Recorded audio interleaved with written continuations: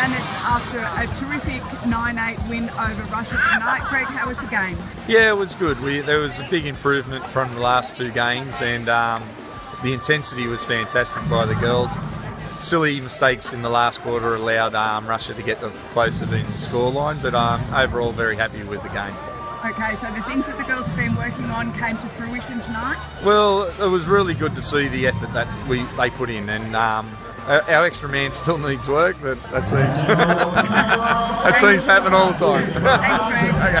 Okay.